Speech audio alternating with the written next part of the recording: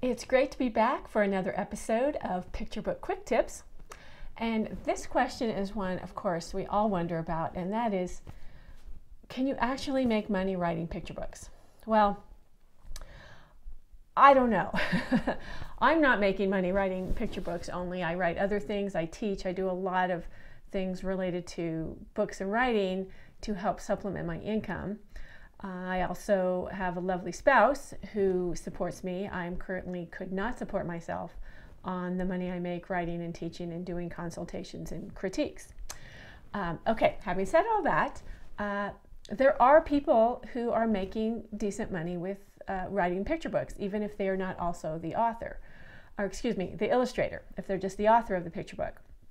Uh, I do know that I've talked to a few friends who've had best selling picture books on different lists, and they're still hustling to do other things school visits that pay, teaching, and, and critiques, and that kind of thing. So I think that going into this, really needs to be about the love of writing, the love of engaging with kids and giving them something memorable and wonderful to have around rather than it being a path to earning money.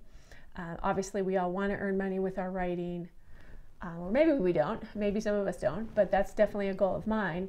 Um, but I am also realistic and am doing doing it mostly because I love it. And once I've actually separated out the publishing and making money piece, I find that I enjoy my writing so much more because it can get discouraging.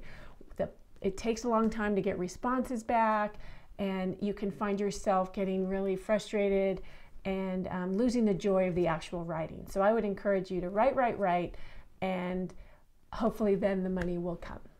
Thanks and have a great day. See you next time.